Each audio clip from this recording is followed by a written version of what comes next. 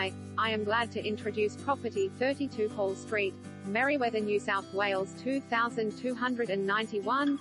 Family home, duplex or dual occupancy site. This property offers a myriad of options from extending and creating a fantastic family home to developing a duplex or dual occupancy STCA.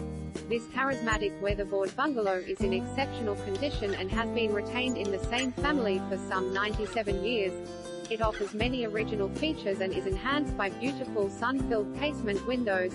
Positioned on approximately 643 square meters with 15 meters frontage, it offers a formal entry, lounge and dining room with three spacious bedrooms, wide multiple car driveway to garage and additional garage storage.